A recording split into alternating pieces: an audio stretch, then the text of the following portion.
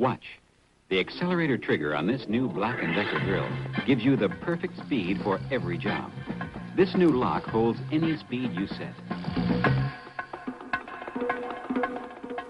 Flick another switch and she runs in reverse. Black & Decker's new variable speed reversing drill with infinite speed lock. It does so much, maybe we shouldn't call it a drill at all. From Black & Decker, for less than you'd expect.